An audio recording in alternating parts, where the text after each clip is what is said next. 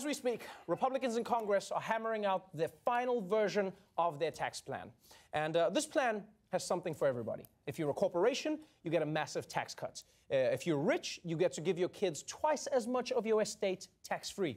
If you're poor, you get the side of KFC green beans that Trump didn't want.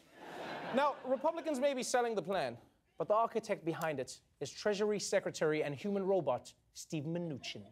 This is going to be the biggest tax cut and the largest tax reform in the history of our country. This is a big cut for the middle income, and it's going to create jobs and growth. The changes to the income tax system are meant to create middle income tax cuts and also make corporate and business tax competitive so we can bring back tons and tons of jobs and capital to this country. That's right. Some people can use the money to buy a new car other people can buy hinges to open their jaws. so, everything Mnuchin said there sounds really cool. The economy growing, people having more money, it seems like a nice idea. But the problem was, bipartisan experts said the tax cuts he was describing were going to significantly add to America's debt. But Mnuchin said, nah, not only will this tax plan pay for itself, but it will pay down debt. The numbers will be completely transparent. It will be scored by the Treasury Department. We have over 100 people working on this. We have over 100 people in the tax group in a modeling area, and uh, they're, they're working around the clock on running scenarios for us. Oh, actually, I, I, see what Mnuchin is saying here. He's saying that those other people may have their opinions, but you see, numbers are open to interpretation, right? It just depends on who's looking at them. For instance, when you read this number, you see 55,378,008. But I, a mathematical scholar, see boobless, right? and that's, that's basically what Steve Mnuchin was doing. He was hoping his people could turn this tax plan's true cost into boobless, which it turns out was not going to be easy. Because while Mnuchin's team was working on boobless, Congress's nonpartisan Joint Committee on Taxation found that the tax plan would actually add a trillion dollars to America's debt. Yeah. And a trillion more dollars of debt has most Americans sounding like DMX at his tax evasion trial. You know, it's just Americans going, hey, yo, how we gonna pay for this? Oh, oh, how we gonna pay? Woo!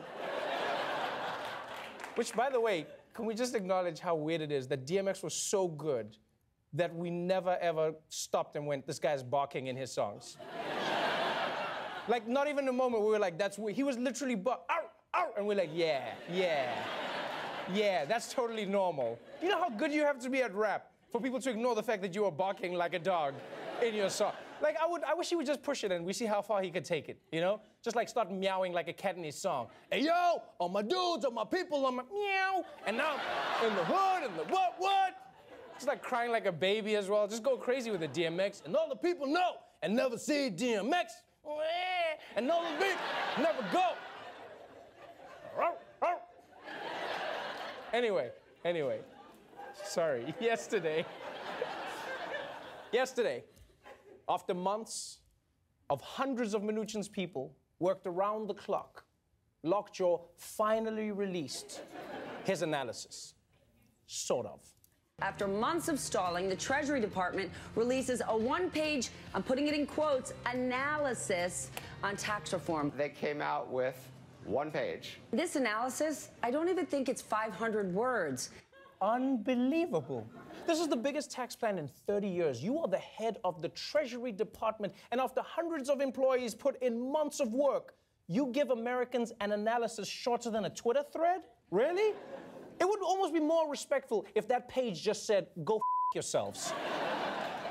and, and you would think that if you only had to do one page of work, that page would be rock solid, right? Because it's just one page. But as it turns out, Mnuchin was not even close. What this one page uh, finding from the Treasury does, other than really confuse the debate, I'm afraid, is it just claims the answer. It says we're going to assume 2.9% growth, and then they back into how to get it there. Now, this is way more optimistic than just about every other estimate that's out there. He just made up a number.